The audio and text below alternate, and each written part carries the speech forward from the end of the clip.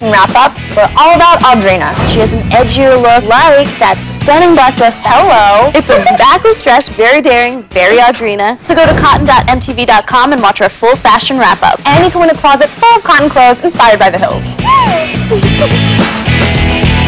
She does work for a record company, but I think anybody else, if you tried to wear that into the office, they'd might be probably be, like, go home and change.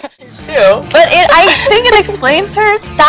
I think it's really fresh. I think that that worked so well because it was a flowy top, you know, and so mm-hmm. if you're going to show off the legs, keep it simple up top. And Right. she totally followed that little Well, 'cause rule. She has really great legs. Oh, I know, So I'd probably not? show them off too. We kind of love her. Yeah. Lauren is the classic all-American girl next door, yet her fashions are chic enough to walk a runway. Heidi. Heidi's the little blonde bombshell on the hills. She's ultra feminine, body conscious, and she wears awesome pops of color. These girls have dream jobs in fashion and media, where they need to dress professionally without sacrificing style.